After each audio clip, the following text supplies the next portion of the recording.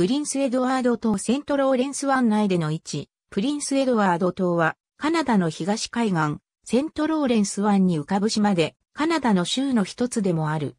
カナダの州の中では、面積、人口ともに最も小さいが、愛媛県とほぼ同じ広さがあり、小さな島ではない。気候は温暖。土地は赤土で肥沃。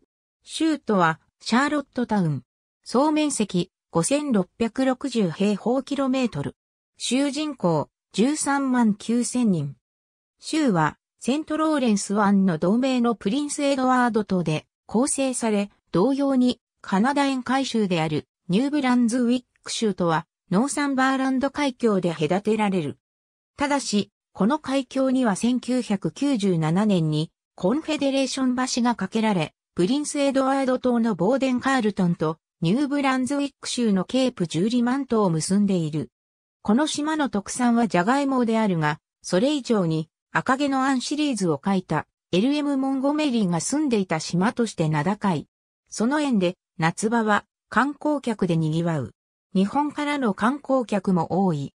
カナダが独立する際、カナダ建国会議が開かれたという由緒ある歴史の島という顔も持っている。